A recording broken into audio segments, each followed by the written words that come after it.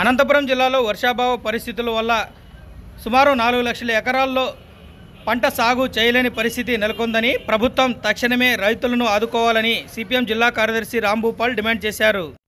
శుక్రవారం రాయదుర్గం పట్టణంలోని సమైక్యాంధ్ర భవనంలో ఆయన విలేకరులతో మాట్లాడారు. ముఖ్యంగా జిల్లాలో ప్రముఖ పంట అయిన వేరుశెనగ సాగు విస్తీర్ణం పూర్తిగా తగ్గిపోయిందని దీనివల్ల రైతులు అనేక సమస్యలతో సతమతమవుతున్నట్లు తెలిపారు.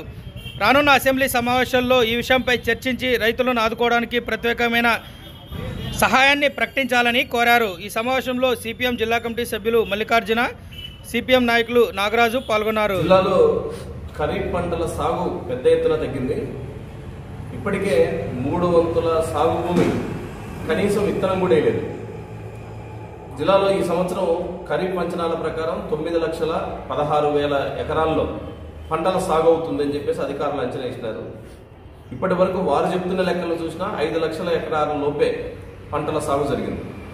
అంటే సుమారుగా నాలుగు లక్షల ఎకరాలకు పైగా పంటలే వేయలేని పరిస్థితి ఏర్పడింది. దీనికి ముఖ్యంగా సకాలంలో వర్షాలు రాకపోవడం ఒక కారణం అయితే రెండో కారణం వ్యవసాయం గిట్టుబాటు అవుతుందనే నమ్మకం రైతులు కోల్పోతున్నారు. ఎందుకంటే ప్రభుత్వం అందించే సహాయం ఏమాత్రం సరిపోవడం లేదు పంట నష్టానికి. అందుకనే రైతులు వ్యవసాయం క్రమంగా సాగు తగ్గుతుంది. అందులో ముఖ్యంగా వేరుశెనగ సాగు గణనీయంగా తగ్గింది.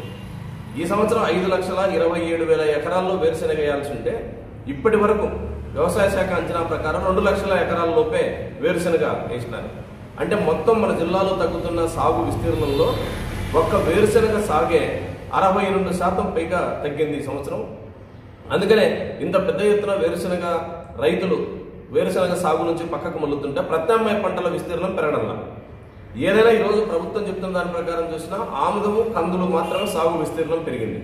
అది రైతులు పంటలు బీడు పెట్టుకోకుండా పొలాన్ని బీడు పెట్టకుండా వేసే పంటే తప్ప రైతులను ఆదుకునే పంట కాదు.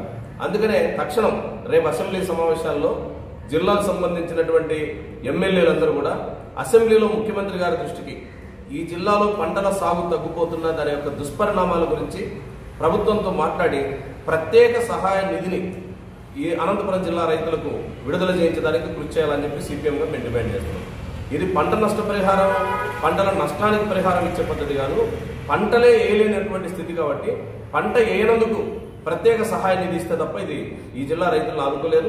అందుకని ఆ రకమైన చర్యలు ఈ ప్రభుత్వం ఎమ్మెల్యేలు చేపట్టాలనేది మొదటి మేము కోరుతున్నది రెండోది పైన తుంగభద్రలో వర్షాలు వచ్చి కెనాల్కు నీళ్ళు విడుదలవుతున్నాయి.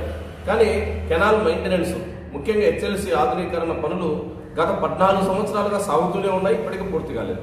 దాని యొక్క దుష్పరిణామం ఈరోజు చూస్తున్నాం. పైన కెనాల్లో వాటర్ వస్తున్నా తుంగభద్ర డ్యామ్ నీళ్ళు వచ్చినా మనం కెనాల్ వదులుకునే పరిస్థితి లేదు పూర్తి సామర్థ్యంలో ఒకవేళ వదిలిన అరకొర నిధులు కూడా నీళ్ళు కూడా గన్లు పడిపోయి ఈరోజు ఇప్పటికే ఆ నీళ్ళన్నీ వృధా అవుతున్న పరిస్థితి. ఈ రోజు చెప్తున్న దాన్ని బట్టి చూస్తే గుంతకల్లు గుంతకల్లు దగ్గర ఈరోజు గండిపడి అక్కడ కూడా మొత్తం వచ్చిన నీళ్ళను గండి గండిపడడంతో కింది పోతున్నాయని పైన నీళ్ళు ఆపలేరు. అంటే ఉన్న నీటి వనరులే కొరత ఆ ఉన్న నీళ్ళను కూడా సక్రమంగా వినియోగించుకునే పరిస్థితి ఈరోజు లేదు. అందుకనే మేము ముందు నుంచి చెప్తున్నాం హెచ్ఎల్సీ ఆధునీకరణ పనులకు యుద్ధ ప్రాతిపదికన చేయాలి. కానీ ప్రభుత్వం అధికారంలోకి వచ్చిన వెంటనే చేసింది ఏంటంటే ఆ పనుల్లో ఫిఫ్టీ పర్సెంట్ లోపు పనులు జరిగినాయనే పేరుతో దాన్ని టెండర్ క్యాన్సిల్ చేసినారు. కొత్త టెండర్ వేస్తామన్నారు. నాలుగున్నర సంవత్సరాలు అయింది కొత్త టెండర్ లేదు వర్క్ జరగలేదు. మొత్తం హెచ్ఎల్సీ కాలువంతా కూడా ఈరోజు బీడుబడిన పరిస్థితి లాగా ఉంది కాబట్టి ఒకవైపు ప్రకృతి వనరుల రీత్యా వర్షం రాదు రెండో పక్క పైన కురిసిన వర్షాల నీళ్ళను ఉపయోగించుకునే పరిస్థితి లేదు. రెండు రకాలుగా ఈరోజు జిల్లాకు అన్యాయం చేసినారు. మూడోది ఈరోజు వ్యవసాయ కూలీలు జాతీయ గ్రామీణ ఉపాధి హామీ పథకం కింద పనులు పోతారు. పోయినటువంటి కూలీలకు సక్రమంగా బిల్లులు చెల్లించడం అనేది ప్రభుత్వం బాధ్యత. కేంద్రం తన వాటా విడుదల చేస్తుంది. కానీ రాష్ట్ర ప్రభుత్వం విడుదల చేయాల్సినటువంటి నిధుల్ని సకాలంలో విడుదల చేయకపోవడం వల్ల ఈరోజు కేంద్రం రాష్ట్రం కలిసి ఉపాధి హామీ పథకానికి రావాల్సిన బిల్లులను ఆపేస్తున్నారు. ఈ రోజు లెక్క ప్రకారం చేసిన పద్దెనిమిది కోట్ల రూపాయలు ఒక్క అనంతపురం జిల్లాలోనే ఉపాధి హామీ కూలీలకు బిల్లులు పెండింగ్ ఉన్నాయి. పద్దెనిమిది కోట్లు పని చేసినటువంటి కార్మికులకు బిల్లులు రాకపోతే ఇక కూలీలు పనులకు ఎక్కకపోతారు అందుకని వ్యవసాయ పనులు తగ్గిపోతున్నాయి ఇరిగేషన్ సదుపాయం వచ్చిన ఆ నీళ్ళను ఉపయోగించుకోరు.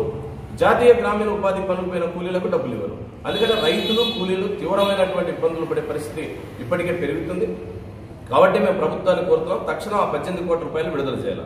చివరిగా ఈరోజు రాష్ట్రంలో ఉన్నటువంటి ప్రభుత్వం మొత్తం తన అధికార యంత్రాంగాన్ని ఎంత దుర్వినియోగం చేస్తుందో అనేక సంఘటనలు కనపడుతున్నాయి. ముఖ్యంగా నిన్న అనంతపూర్లో జరిగినటువంటి ఎక్సైజ్ పోలీసుల మీద జరుగుతున్నటువంటి దాడి.